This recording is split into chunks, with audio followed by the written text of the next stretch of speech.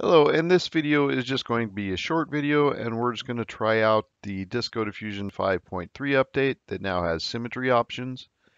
And where we can find these new settings is under settings, if we expand that, and then we go down to extra settings and expand this, and they will be on the very bottom part here under transformation settings. And here we have use vertical symmetry and horizontal symmetry. And we're going to go ahead and first just do a run without it so that we can compare it. And I've got my prompt here, Digital Art of Steampunk Buildings by Justin Gerard and Jason Edmiston, Sci-Fi Art Training on ArtStation. And let's go ahead and run it.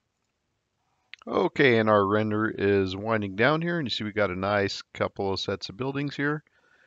And then we're, what we're going to do first is we're going to turn on the horizontal symmetry and see what we got. Okay, so we're going to go back up here. Turn on the, let's do the horizontal symmetry first. This should echo the left side and the right side. Okay, we run that. Now let's go ahead and keep our prompt the same and do another run. Okay, and our run is starting to wrap up now. And I think I like this feature. If you notice, it's not exactly, it doesn't exactly mimic the left and right side, but it definitely provides some symmetry to the image you generate and see it kind of copies these things here in the middle and yeah so that's that's the horizontal symmetry and the next one we'll try is the vertical symmetry. Okay and our image is kind of winding down here and you see it kind of mimics the top from the bottom but not exactly. So my initial thought was maybe this would be good to like do a reflection but I think to do reflection, I think I just cut the image in half, flip it, you know, and do it in a photo editor or something like that, and then add ripple effects.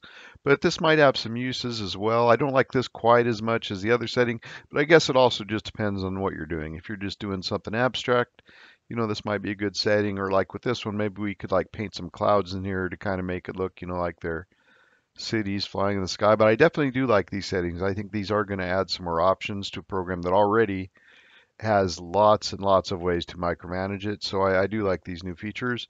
And the next one we'll have to do, is course, is with both of them on. We'll see what that looks like. Now another thing too I didn't pay attention to is the render time, so I'll do one more after this and see if this is adding anything to our render time or if it makes any change at all. So let's go ahead and run it now with all with both of them on. So this should probably, I'm anticipating kind of a kaleidoscope effect, you know, something bit more abstract. Let's go ahead and run it.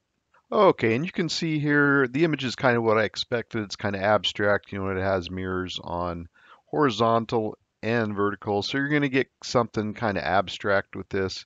So this might be good for videos actually, but I'm going to do one final render here just to see if this does add to the render time.